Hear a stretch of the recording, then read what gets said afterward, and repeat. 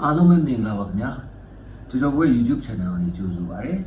ကျော်ကျော်ဘွဲ YouTube channel ရဲ့ Soccer Corner playlist အတွက်ဒီနေ့ကျွန်တော်အာ English Premier League ဘောလုံးပွဲနှစ်ပွဲအကြောင်းကိုကျွန်တော်တုံးတက်ပြီးတော့ပြောပြပေးသွားပါမယ်ညာအာအဓိကတော့ကျွန်တော် Soccer Corner ဒီ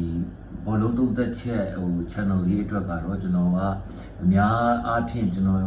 တို့နဲ့ laboratory ပို့ရှိတဲ့ English Premier League ဘောလုံးပွဲတွေကိုပဲကျွန်တော်ပြောပြပြတာများပါတယ်เนาะရာဂိုင်နှုန်းတော်တော်များများလေကျွန်တဲ့ဥစ္စာကတော့ကျွန်တဲ့နိုင်ငံအသင်းတွေရဲ့ league ပွဲတွေကတော့ကျွန်တော်သိမပြောပြဖြစ်ပါဘူးအဲပြီးတော့လည်းကျွန်တော်ပိုကြည့်ပြတာလည်း English Premier League ကိုပဲပိုကြည့်ပြကြတာဆိုတော့လေ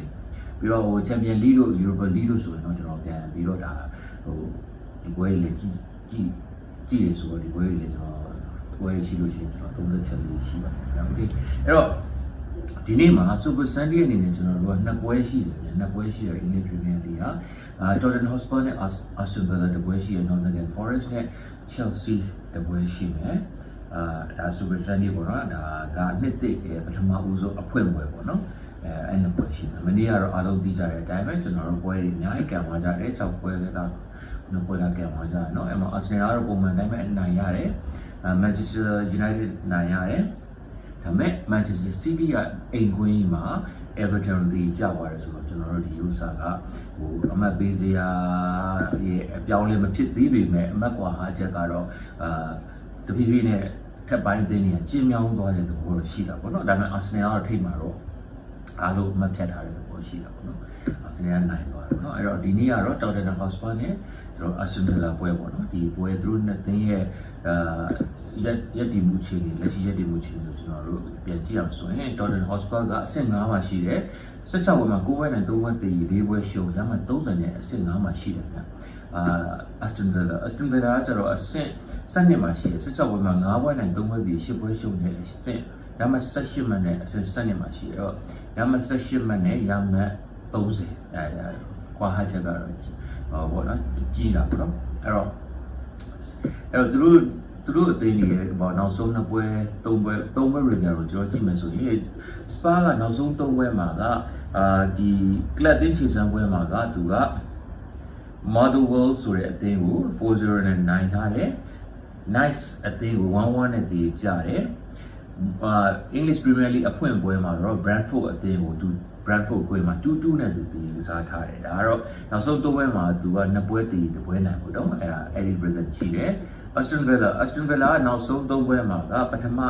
အာဒါခြေစမ်းပွဲပေါ့နော်ကဘာပလာပွဲပြီးခြေစမ်းပွဲမှာ Chelsea ကို1-0နဲ့သူကနိုင်တယ်ပြီးရင် Villarreal ကို1-0နဲ့ပြန်ရှုံးတယ်ပြီးရင်ဒါဟို Premier League အဖွင့်ပွဲဒီကဘာပလာအပြီး Boxing Day အဖွင့်ပွဲမှာကျွန်တော်တို့ Liverpool ကိုသူကသူ့အိမ်မှာ1-3နဲ့ရှုံးတယ် အဲ့တော့နှစ်ပွဲစုံတစ်ပွဲနိုင်ပေါ့နော်အဲဒီ rhythm ရှိတယ်ပေါ့နော်အခု Gamma Spa ရဲ့အင်ကွင်းဖြစ်တယ်အဲ့တော့နဲ့တင်းရဲ့ထိတိုက်တွေ့ဆုံမှုကိုကြည့်မယ်ဆိုလို့ရှိရင်အာ Tottenham Hotspur နိုင်တာတစ်ပွဲနှစ်ပွဲသုံးပွဲလေးပွဲ okay ၅ပွဲ၅ပွဲလုံး Tottenham Hotspur နိုင်ထားတယ်ပြီးလို့ရှိရင်သူတို့သွေးကိုတွေရှိထားတဲ့ပွဲတွေများထားတဲ့ပွဲတွေတော်တော်များတယ်အနည်းဆုံးနှစ်ကိုးသွင်းထားတဲ့ပွဲ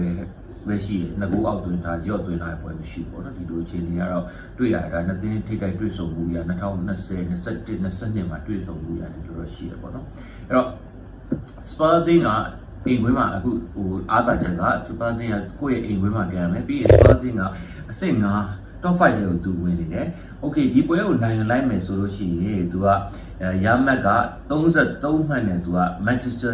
United ရဲ့အပေါ်ကိုတက်ပြီးတော့သူကဟိုဟာဖြစ်မယ်ပေါ့နော်ဒါအဆင့်၄ကိုသူရောက်မယ်ပေါ့နော်။ Manchester United ကတော့တပွဲရောကစားထားသေးရပါလေ။ယာယီရောက်သွားမယ်ပေါ့ Manchester United နောက်တစ်ပွဲကစားလို့နိုင်ရင်တော့သူ့ပေါ်ပြတက်ပေါ့နော်ဒီလိုမျိုးရှိတာပေါ့။ဒါ Spurs အသေးရဲ့လောလောလတ်လတ်ဒါတဆင့်ကိုဟိုနှစ်တစ်အဖို့မှာတဆင့်ကိုသူတက်လန်းနိုင်တဲ့အနေထားပေါ့။အဲ Aston Villa ကျတော့18 21ဆိုအဆူဗရာတိတ်တော့အပြောင်းလဲတော့မရှိဘူး21ဆိုလဲသူရဲ့သူ့ရဲ့ရမှတ်အနေထားရတော့သူအစစ်စနစ်မှာပဲနိုင်သွားခဲ့ရင်တော့ကိုနေနေကြနေတဲ့အနေထားပဲရှိမှာပေါ့နော်အဲ့တော့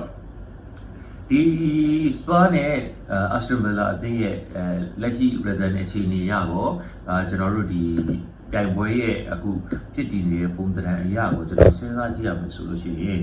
အာဒီပွဲကတော့ကျွန်တော်ထင်ပါတယ်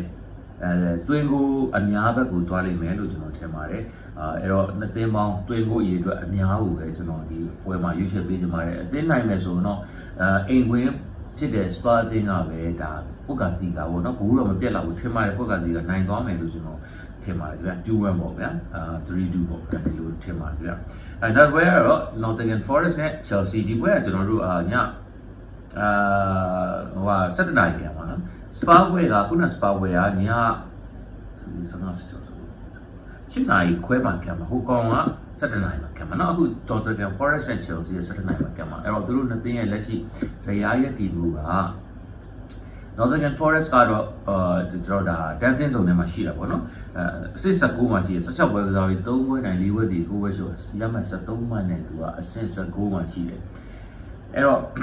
Chelsea Chelsea ကအဆင့်9အဆင့်9က15ပွဲမှာ9ပွဲနိုင်3ပွဲတည်5ပွဲရှုနဲ့ရမှတ်24မှတ်နဲ့အဆင့်9မှာရှိတယ်အဆင့်9နဲ့အဆင့်73ပေါ့နော်အဲရမှတ်ချင်းက24နဲ့73ဒါကွာဟချက်ကြီးတယ်အဲဒီတော့ Nottingham Forest ရဲ့အိမ်ပွဲမှာတော့ဖြစ်တယ် Nottingham Forest ကဒီပွဲမှာနိုင်သွားလို့ရှိရင်တော့အာ16မှတ်နဲ့သူက dancing zone ကနေယာယီလွတ်မြောက်သွားမယ်ပေါ့တော့ယာယီလွတ်မြောက်သွားနိုင်တယ် 16မိနစ်ဆိုသူအဆင့်ဟိုဘွာလောက်ထိရောက်သွားနိုင်တာပေါ့အဲအခုတက်စစ်ဆောင်မှာ16ဆိုရင်သူ15လောက်ထိရောက်သွားနိုင်တဲ့အနေအထားရှိတယ်ပေါ့နော်ဒီပွဲနိုင်ခဲ့ရင်ပေါ့ယာယီ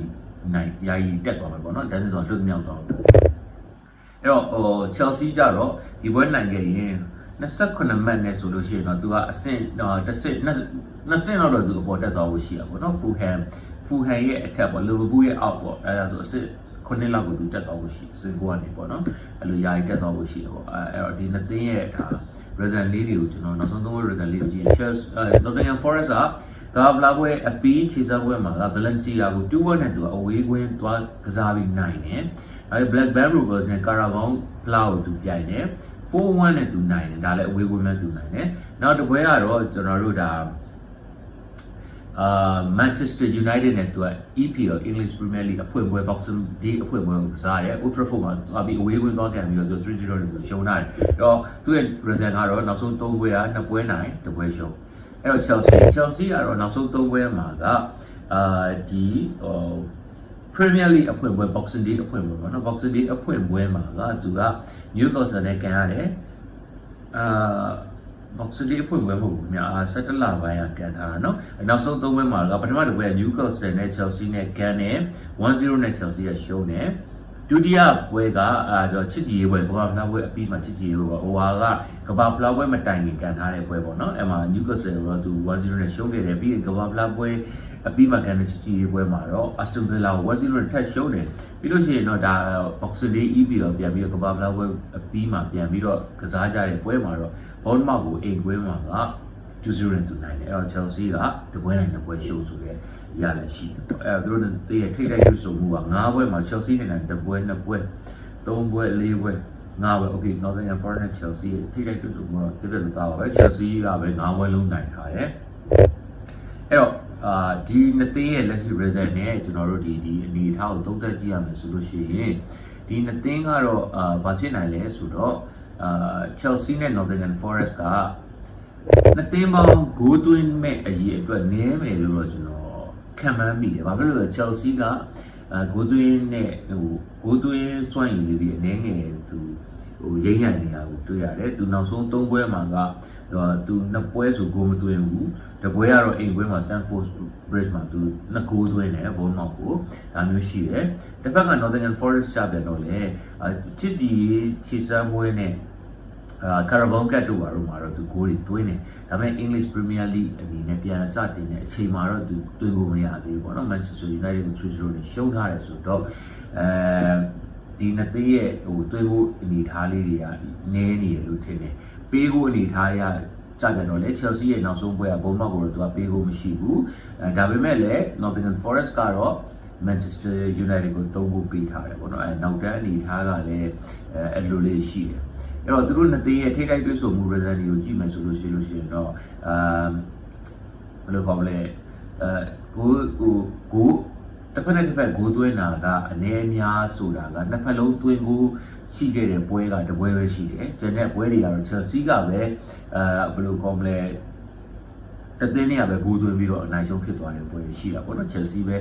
သွင်းတာလည်းနှစ်ဂိုးပဲသွင်းထားတယ်1-0နဲ့ပွဲတော့မရှိဘူးနှစ်ဂိုးသွင်းတယ်၃ဂိုးသွင်းတယ် Chelsea ၅ဂိုးသွင်းတာရှိတယ်အဲဒါပေမဲ့ ဟို Nottingham Forest ကဂိုးပြန်သွင်းတဲ့ပွဲကတပွဲပဲရှိတယ်ကြာတာကတော့ Chelsea ပဲသွင်းပြီးတော့နိုင်ယူသွားတဲ့အဲပွဲတွေရှိတယ်ဒါပေမဲ့တခုတတိထားပါငါနှစ်သင်းလုံးတွေ့ဆုံတဲ့ထိတ်တိုက်နောက်ဆုံး၅ပွဲကတော့ Chelsea ရဲ့ English Stamford Bridge မှာဒီပဲတွေ့ဆုံထားတဲ့ပွဲတွေဖြစ်ပါတယ်အဲ့တော့ဟို Nottingham Forest ရဲ့အခုတွေ့ရမှာ Nottingham Forest ရဲ့အိမ်ဝင်ဖြစ်နေတာလေးကိုတော့တစ်ချက်တော့ သတိထားတော့ဗောနော် Nottingham Forest ရဲ့အိမ်ဝင်ဆိုလို့ Nottingham Forest ရဲ့အိမ်ဝင် rhythm လေးကိုကြည့်မယ်ဆိုရင်တော့နောက်ဆုံး၅ဝက်မှာတော့၃ဝက်နဲ့ပွဲတည်ပြီးကစားထားတဲ့ rhythm တော့ရှိတယ်အဲအဲ့တော့ဒီ Chelsea အနေနဲ့လည်း Chelsea အနေနဲ့လည်းနောက်ဆုံးအဝေးကွေးရလက်တွေကိုကျွန်တော်နောက်ဆုံး၅ပွဲကိုကြည့်မယ်ဆိုရင်တော့တပွဲနိုင်၃ပွဲရှုံးတပွဲတည်ဆိုတာရှိတယ်ဆိုတော့ဒီပွဲမှာတော့ကျွန်တော်ကအသေးအနိုင်အရှုံးဆိုထားတဲ့အဲ